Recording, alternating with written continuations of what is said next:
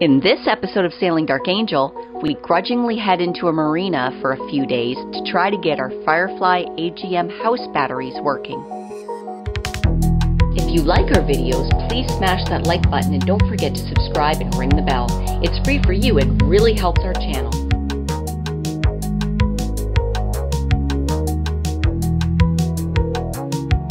Well, we're not big fans of being in marinas, uh, not since we left the last one in Florida. We, uh, we prefer to be hanging out on the hook, and I think that's part of the problem with our batteries.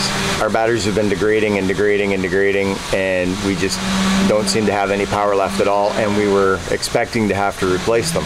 But we have somebody working with us, and uh, he's talking us through doing an equalization charge and actually looking after our Firefly batteries the way they're supposed to be looked after.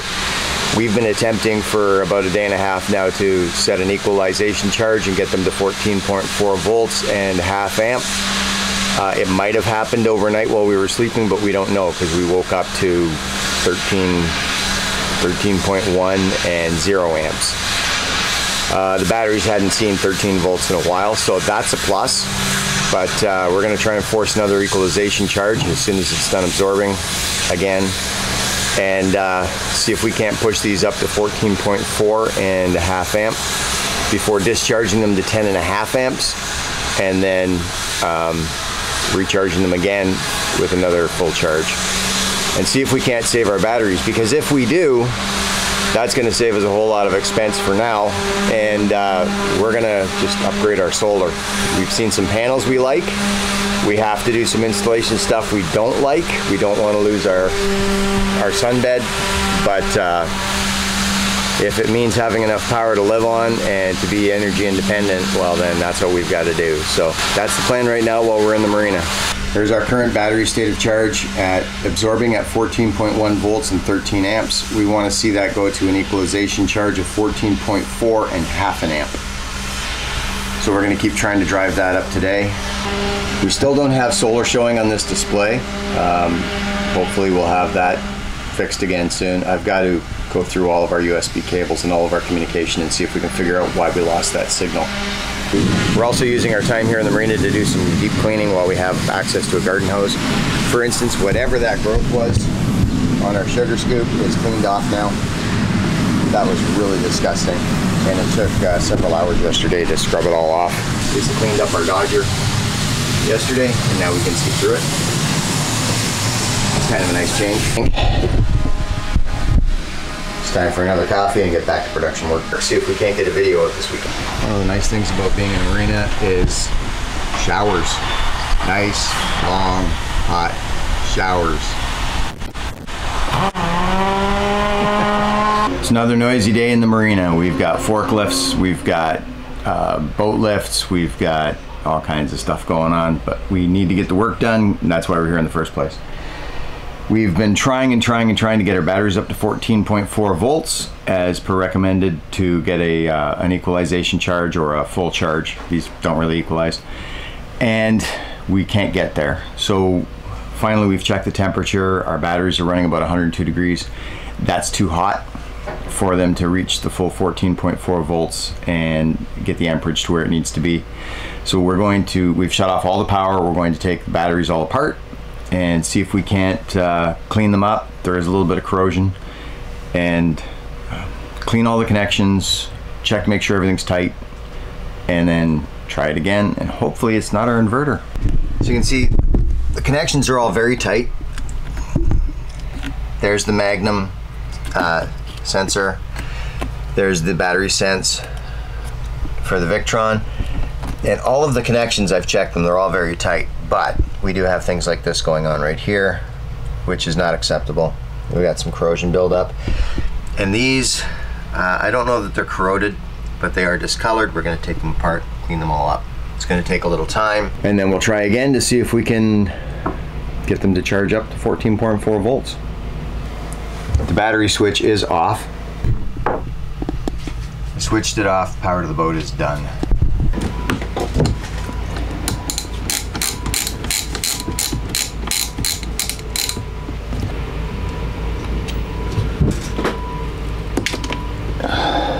Oh good.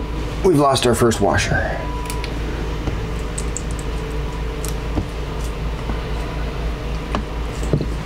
Need anything from underneath that as a catch-all?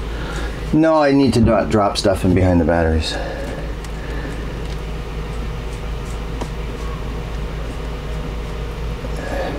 I should have been more careful picking it up. There we go. So all of the negatives at this point are disconnected because that one feeds all of the negatives. On the feed side, we have one feed here. This is the main feed. I'm going to disconnect that next. And then there's nothing going to the boat. and you can see on this feed here, we've actually got some corrosion here as well right underneath the main connection for the power. Fair amount of corrosion right here around where the uh, power comes into the batteries. So we're going to clean that up and move on. I've got a little baking soda solution here and I'm just trying to clean up the worst of the corrosion with that and then lightly sand it so we get a good connection copper on copper.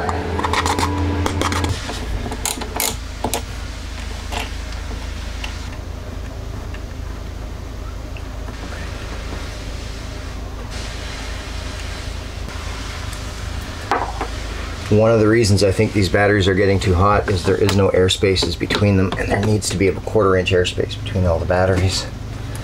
If there's room, there's room up here but I can't see the bottom. If there's room I'm going to space them a bit, see if I can find a way to space them out.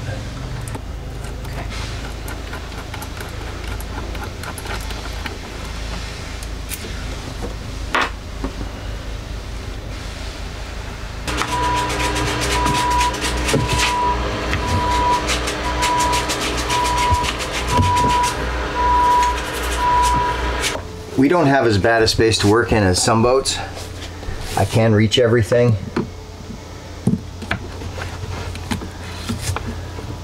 And that makes life a little bit easier. This one you can see is one of the badly corroded ones. That is an issue. Looks like we got rust, sulfation, all kinds of good stuff. Let's go clean it up. So we've got our solution, which is turning blue. Kind of a nice color. Maybe when we're done, we'll paint something with it. So the baking soda dissolves the sulfation, and a light sanding gets through any contaminants that are on the surface.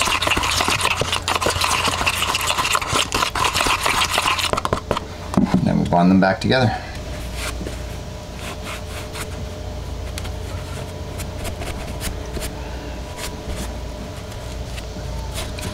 So it already looks much better.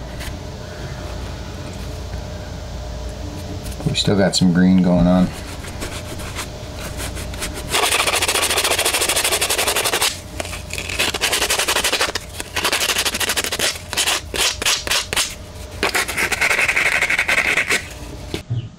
I had not intended on taking all the fuse holders and everything apart, but this whole assembly was absolutely black. Um, I've cleaned up the cables a little bit. I got to sand them some more. And on the other side, which is really hard to get in here and see. So I have to clean up these cables. And the fuse block goes in here right underneath this one. Mm -hmm. Fuse block goes in underneath there. And you can see the cables are very black. The fuse holders are very black that all needs to be cleaned up. I don't know if it was some kind of protectant that was put on it that discolored it or if it's just corrosion. But I'm going to clean them up and sand them back a little bit so that I get a nice clean solid connection. And same thing with these. These ones look okay, but I'm going to take them apart and check them. So what are you doing now? I'm going to reinstall this fuse block. Okay. In theory, I'm going to reinstall this fuse block. And then I have to take apart the next one. Which you, you can see the wires are, the cable connectors are all black. Yeah. And they almost feel like something's been sprayed on them, so that might be protectant, but I don't have any guarantee of that. The hard part is trying to thread into this, this type of board.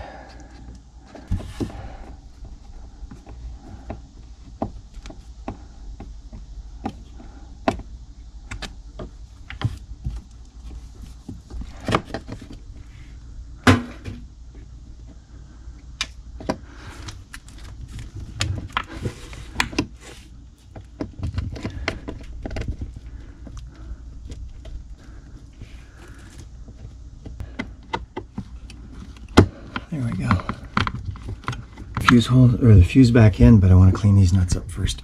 Okay. I gotta get I gotta have clean nuts to do this. so the nuts in your hand need to be cleaned up? Yeah. Okay. You notice they're not in your purse.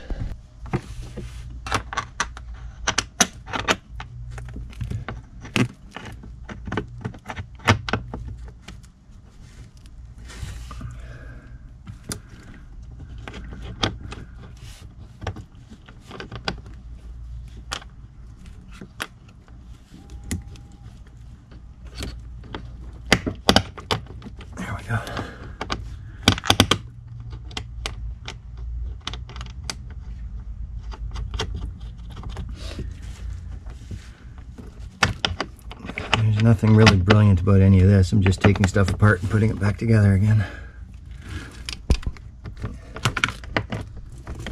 Whoever built the system is the one who did all the work. Genuine snap-on ratchet from the 1990s. Back when snap-on was a thing. Are they still a thing? I think they are. All right, we got the battery cables all cleaned up. Now I'm going to move on to the connecting cables. But uh, they're all looking nice and polished. I got to put them all back together. Put the sensors back on. The thing I find interesting is you could see everything is disconnected in there, and yet you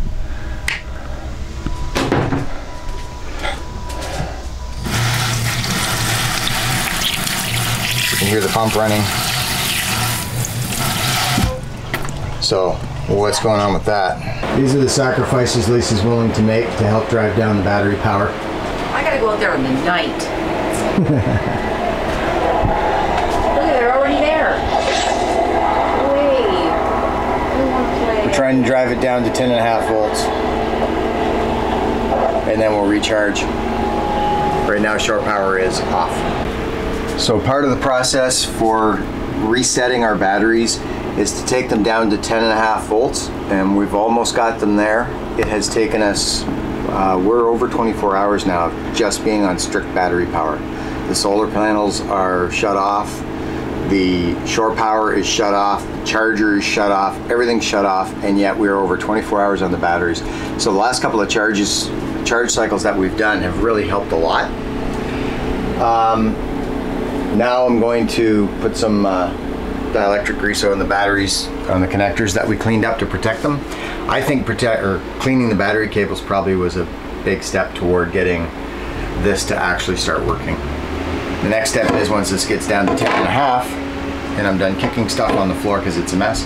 Once we get down to 10 and a half, um, we're gonna flip the shore power back on, bring the batteries back up and see if we can get them to four and a half volts and half an amp, and that's gonna be a full charge finally but they're actually acting like they're good batteries right now, which is a big, big change from the way they were before. And who knows, maybe we'll get away with not having to buy batteries. So what does dielectric grease do? It just protects it from moisture. This is not going to be anywhere near enough. There's actually better stuff than this, but this is what we have, what we could get local. So, so you put it on each of those? Every one of them.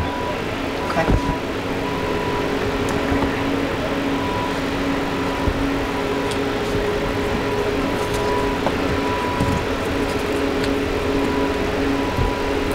We've also added a little bit of space in between the batteries. I have to put a spacer in there to keep it.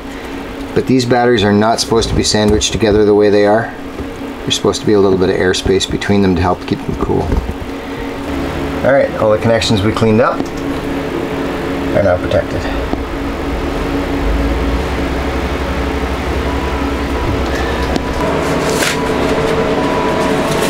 Alright, let's button this up and that's a wrap.